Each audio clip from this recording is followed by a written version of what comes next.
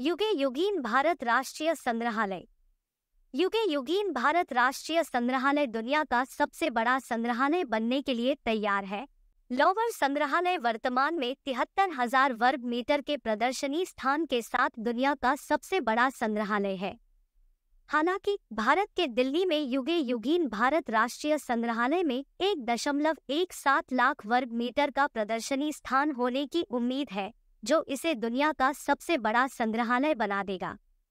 युगे युगीन भारत राष्ट्रीय संग्रहालय अभी भी निर्माणाधीन है, जो एक दशमलव एक सात लाख वर्ग मीटर के व्यापक क्षेत्र को कवर करता है, जिसमें 950 कमरे एक बेसमेंट और तीन मंजिलों में फैले हुए हैं। संग्रहालय दिल्ली के उत्तरी और दक्षिणी ब्लॉक में स्थित होगा, जिसका उपयोग वर्तमान में भारत सरकार द्वारा किया जाता है।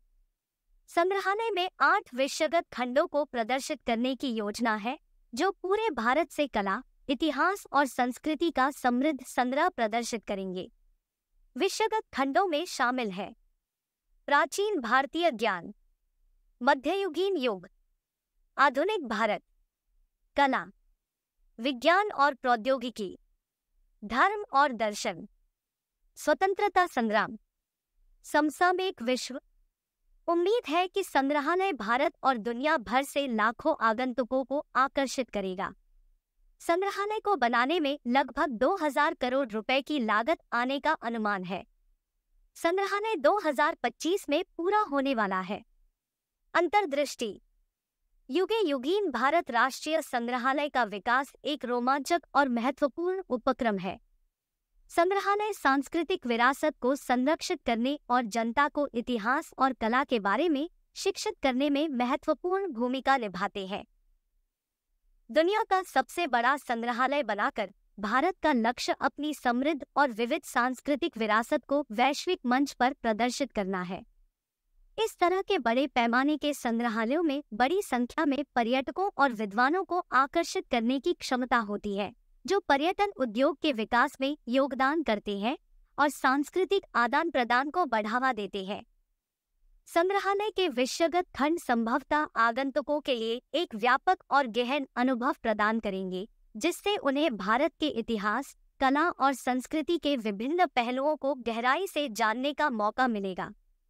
इसके अलावा, ऐसा भव्य सांस्कृतिक संस्थान राष्ट्रीय गौरव और एकता की भावना को बढ़ावा दे सकता है। क्योंकि यह देश की उपलब्धियों और मानव सभ्यता में योगदान का जश्न मनाता है। यह परियोजना भावी पीढ़ियों के लिए अपनी सांस्कृतिक विरासत को संरक्षित और बढ़ावा देने की भारत की प्रतिबद्धता को भी दर्शाती है।